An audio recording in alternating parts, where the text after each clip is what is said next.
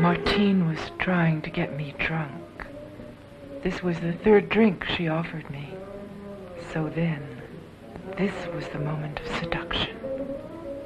Her approach was rather simple, but nonetheless effective. I was playing the cute, young, unsuspecting virgin. Martine was at her charming best.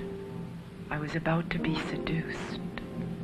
Seduced by an older, more experienced woman of the world. The sweet, innocent 19-year-old college girl was about to play on the other side of the fence.